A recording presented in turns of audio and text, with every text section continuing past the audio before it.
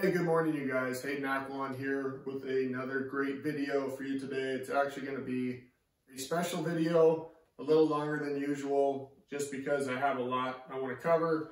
I'm actually going to cover, let's give you the exact chapter here, a section that is labeled, well, the subheading is retail arbitrage, but it is my route and slash the ideal route. This is from my book that just came out earlier this year on Jan 1.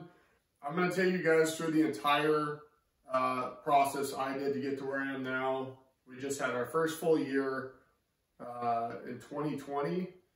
March March uh, 1st was technically our uh, two full years in business, but we, you know, 2019 we had started in March, so we only had 10 months that year. So 2020 was our first full year. It's amazing how fast things have grown. Um, I'm going to talk about that. I'm going to talk about what I would have done differently too, because there, there are things for sure. But I'm going to give you guys the whole outline right now in terms of sales numbers when I transitioned, and I think it'll help a lot of you guys. So let's just dive right in. I hope you all are doing well, and this should definitely help you. So the first, the first thing, and I always recommend this, I never recommend jumping right into bulk unless you're heavily capitalized and you have some experience. But for most of you who don't have a ton of money to use, you always should start with cherry picking first. Let's do this. All right, so cherry picking.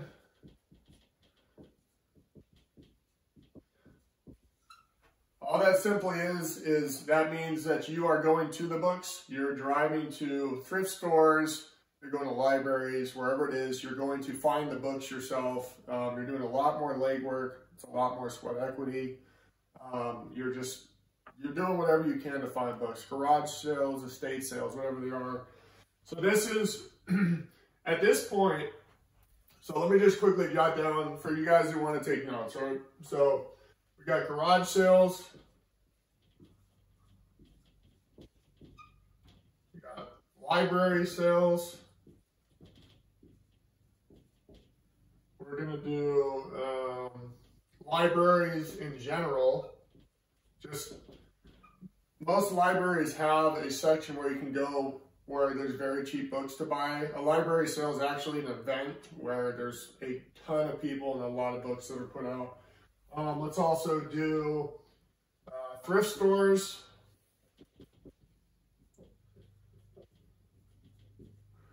So I would add estate sales in there too if you want, but these are a lot more dependable and happen a lot more frequently, such as garage sales. I mean, you can find a garage sale every weekend. Estate sales are a little hit or miss, but these are dependable um, revenues or avenues to get, um, you know, books while you're cherry picking. So when I was in this, this area, I got to 5,000 to 10,000 in sales on a consistent basis. It was more towards the 10K range before I did anything to move to the next level, which is, this is what I recommend. This is what I call the hybrid model.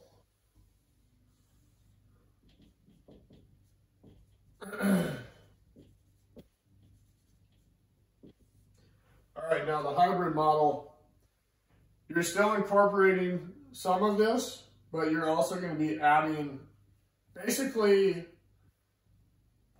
streams of books that are they're larger in scale, meaning you can get a ton at one time from other sources. So those in particular are going to be estate sale cleanouts.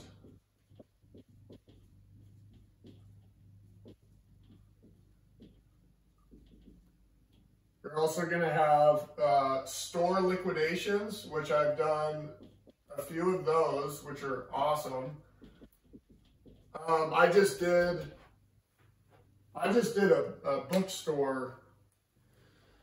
It was an hour drive away. I took a 16 foot box truck and uh, we just, it was incredible. We just cleaned up. I think we, we had access to like 20, 20,000 books and there was, I don't know, it was like a 20 something percent scan rate. It was amazing. Great quality books. Uh, we also got media, which is great. I'm doing media now for those of you who follow me closely. Um, estate sale, I've had some of the best. The best one I ever had was uh, recently, and I've had a couple this big, but this one was the best. Uh, they had 30,000 books sitting in a house. It was, it was insane. Every room was just books. It was crazy. And uh, the woman whose house it was used to be a bookseller. Um, and unfortunately, she had passed away, and so her her heirs were just they were going to just throw them all away basically. So I came in, I was able to pay them a decent amount for them, and uh, I guess while we're on the subject, I'll touch on that. It's really up to interpretation what you want to pay per book, what you think it's worth. For this in particular, I was able to I, I essentially just talked to them about a an overall price per book. Um, not ideal. What what you should do is bring your software, bring your computer, set up like a foldable table, you can actually just you know hit everything there. The problem with that is that a lot of people aren't receptive to that unless you're able to take everything. Uh, we actually had to go there twice. We had a 26 foot um, truck. We had to we filled it twice with books, which is nuts. And it was it was an all day thing both days, and it was it was like 104 degrees outside. It was a fun day. So two days. So still worth it 100%. Um, you know, negotiate with them however you want. Obviously, it's ideal to pay them for books that are actually um, worth something. So in some ways, I took a risk, but just looking at them, I mean, they were all out on shelves. I knew I was like, oh, this is gonna be good. So we uh, we ended up doing really well in that one. Um, but always bring a computer and a scanner and, you know, offer to do it that way, offer to do it on consignment where you take everything and you say, hey, I'll give you 30% of the yield because I have to rent the trucks, I have labor, I have to put everything online. And you can, you know, go into a little bit about how you can track that for them accurately and, and explain to them they're going to make more money over time because they will versus just a little lump sum from a company like half price books like we have that you can take books to the counter for and you know them having to come lug everything out. I mean that's they don't want to do it trust me. So just give them give them an option and they're gonna they're gonna work with you for sure. Um, let's see. So yeah so a little bit of new right where we're getting bulk and then obviously we're still utilizing you know, library sales, you can still get a few. I don't like doing library sales anymore. They're fun. I just don't, I don't do them anymore. Um, if you have, what's kind of cool is if you have an employee that you're not paying too much, you can actually train them to go do those too. That's worked for you for a while that knows which books are good, that knows where to go to scan. They're not running into the you know, fiction section, they're going right to the textbooks, they go into, you know, the health and wellness, art history, that kind of stuff, right? So you can train someone up to do that. I don't want to do that anymore. Um, also, um, you know, still incorporate the, the thrift stores here and there. Because you still need a solid base, right? You know, these aren't going to just be here every second. These are just adding like the cherry on top where you're going to get a lot more volume. Um, and through these, or, or for these, you're going to be using a lot of Facebook Marketplace and Craigslist to not only find these, but to post about them. You need to be putting leads out into the world all the time. I, we were posting every week nonstop for a long time. Um, so I did this model from 10,000 in sales to 20,000. And again, on the higher end. We were doing it too. Um, this is when I started to move to, I call it the 50-50 model. So,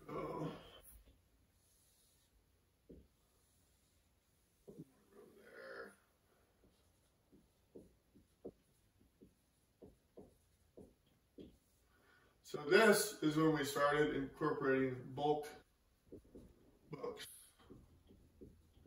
or Gaylords of Books, however you want to say it. Um, we also had continuation of our store liquidations.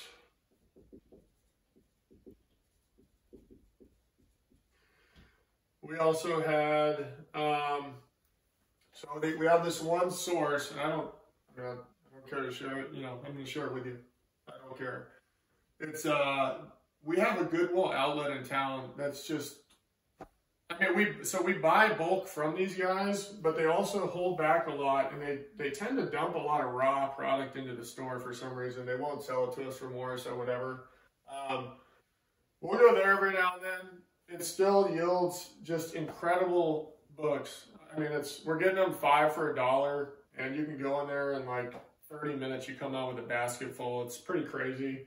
And a lot of the guys who used to go there, I don't see anymore. So they might have stopped. They might have took everything. I'm not sure, but uh, that's always been great. So we continue to do a very select uh, amount of cherry picking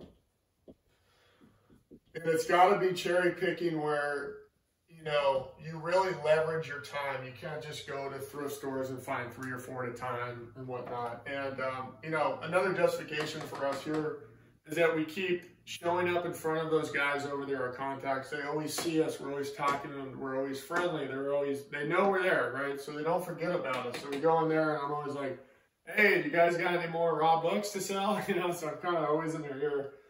Um, so we're doing that. So one thing I needed to touch on too is all through this point, this should be, the, this is like, here, let me just write it. So this is like living room or like a home office. You can do all this stuff in, right? When you're selling FBA, you're sending all this stuff in anyways. It's not going to build up in your house. When you move into this, you're going to be looking more at garage or a storage unit. Look, I am not a fan. I'm not a fan of a storage unit. Like I, I recommend it, but it really is not ideal, you guys. Like I, especially living in a hot climate like Texas, you're gonna be miserable. At least with a garage, like you can step inside your house and cool off if you want, or you can list inside and you can just store your product in the garage. But I, I don't recommend this, but some people have to do it. A lot of people live in apartments. So that's that's your option right there. At this level, I'm doing this from 20K to 50,000 in sales. And again, like on all these, it's on the high end. I'm just showing you the range of which we started, but you want to be on this end, right? We're using cash flow to then moving to buy more larger amounts of quality of books, right? We're getting big loads of books at this point. You know, another thing to maybe mention was like in this in this level, I'm spending hundreds of dollars a month on books. This level, I'm spending maybe a couple thousand a month on books, maybe.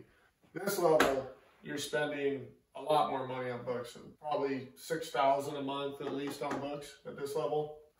So that's why I say, you know, you're not moving to the next model until you're on the higher end. You need the cash flow and the net profit, of course, to then afford to do operations in another area. Um, and then at this point, you really do need a warehouse. So, and again, towards this end, right? You need a warehouse. I got a little trigger happy. I went in on this side that's because of my situation. Financially, we were in a great situation. So I, I took a little bit of a risk, not a ton, and I went into there. But I would wait as long as you can to get into a warehouse. Now, this is where things get really, really interesting. Um, I'm not going to draw an arrow all the way down and around, but let's just go down to the middle here. So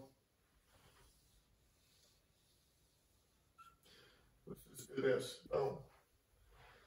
So this is basically 100% bulk. You got a, a bulk operation. Um, this is when we're looking at this a lot more. We're getting multiple sources.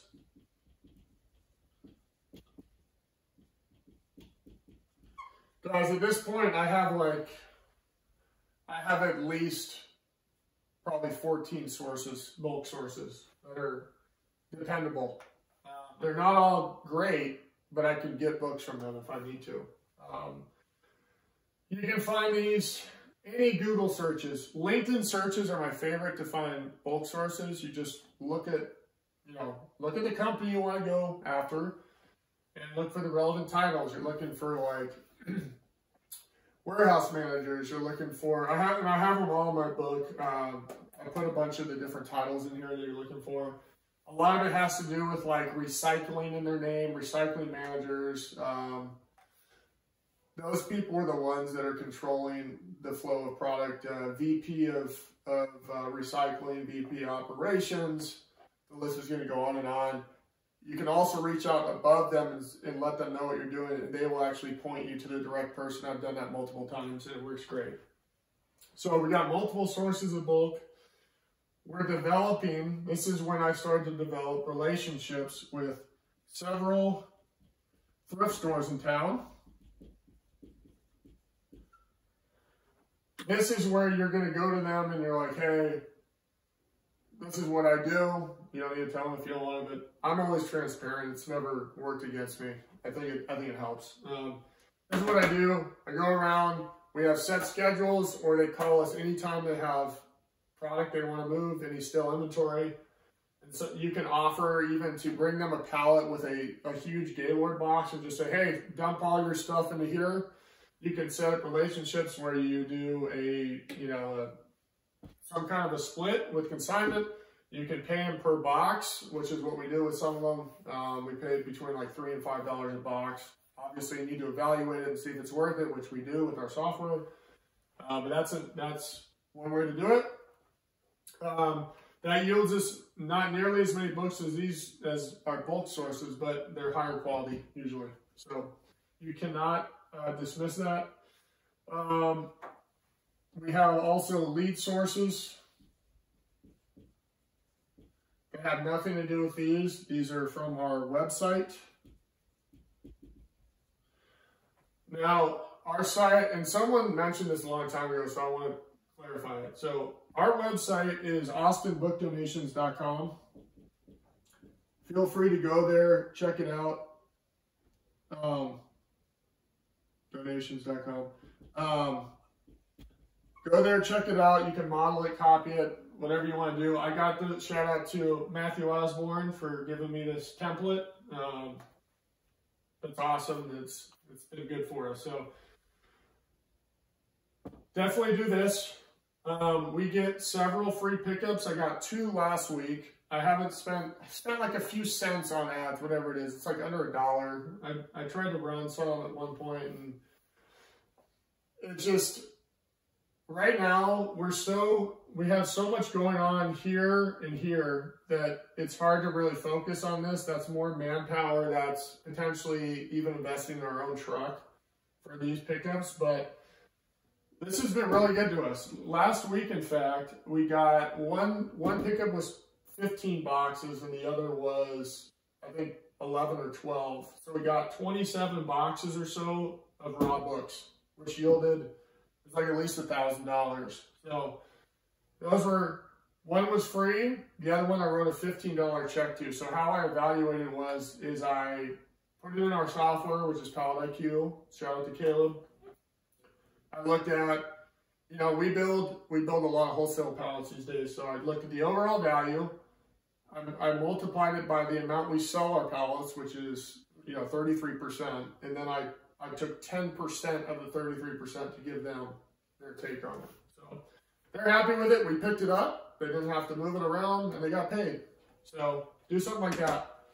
Um, also, um, this has been nice. This is one more thing here. Um, wholesaling to other sellers. Gosh, that is I can barely even read that. Sorry. To wholesale to other sellers. Um, this has been good for cash flow. We don't do this as much anymore, but it was good when I was, you know, moving along here.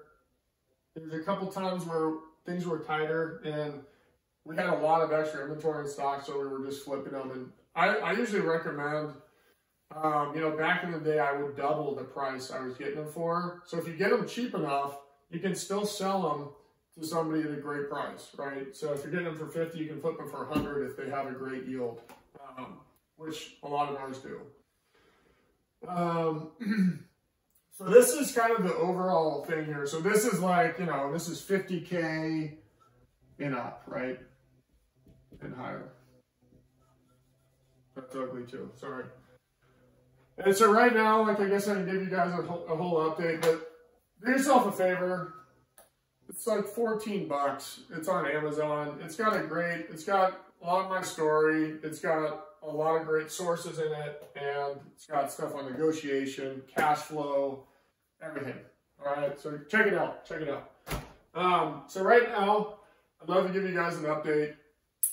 So we are we are basically a wholesaler at this point. We only do green pallets. We've kind of we become like my my friend's dad called us miners. So we're basically like I, I think of us more as like we're like refurbishers. We're a refurbishing company now. So we get all these sources in from everywhere, and we we take them in. You know, with the, for our media, we have to replace cases. We make everything look good. Books get cleaned, whatever. We pack them up and we send them out to other sellers. So we've been doing that. We're loving it. We're, we like the model. The main thing that you will struggle with as you go through all this is cash flow. Um, you know, the standard, if you will, the gold standard of, of sell-through rate online these days is about 20%, maybe 25, depending on. Depends how uh, crazy your prices are. But this is kind of the standard. So when you're plowing in money nonstop and you're only getting 20 to 25% of it back, guess what? You get you have cash problems. Okay. With what we're doing, the margins are or the sell through is obviously 100%, right? We're only we get an order, we fulfill the order, we get paid. Okay.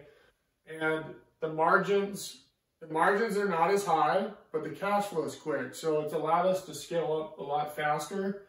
Um, I really like this model. I do miss, I miss direct to consumer. I really do. I I, I wish uh, if I I don't personally like like the act of like packing the orders and sending it all out and answering questions online. Like I don't like that. So, but I would train someone else to do that. I have uh, four employees right now, so I have them doing that. But I'm just saying, like I miss. I, I think our numbers would be a lot higher if I stuck to just selling online versus making the pivot to selling to other sellers. So I encourage you to do that, but don't go as fast as I did through this.